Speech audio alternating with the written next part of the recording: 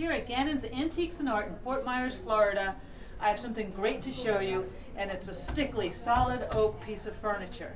Now what's really nice about this piece of furniture, other than the fact that it's just an awesome sideboard, is that it's got the original Stickley label on it that says quaint in quotes furniture at Grand Rapids, Michigan. So it was the sticker that they used between uh, 1900 and 1903. Usually they call this the 1902 la- label. It's all the way on the back, otherwise I turn it around and show it to you. But if you go to our website, you'll be able to see the actual uh, label because we'll take a picture of it and put it there. Uh, great solid piece. It's got the arts and crafts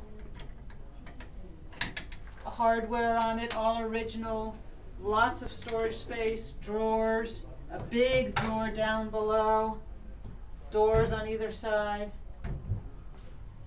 It's got the turned wood and then the cane, which is a little bit unusual.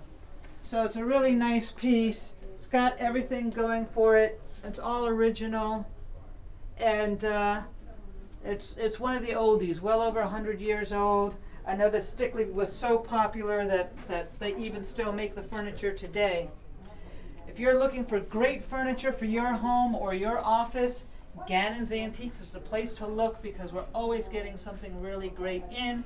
And if you have great furniture that you'd like to sell, we're always looking for the best and something exciting. So you can contact us, gannonsantiques.com, or if you're in South Florida, please come by. We have 20,000 square feet in our antiques mall, and it's chock full of amazing, fabulous treasures.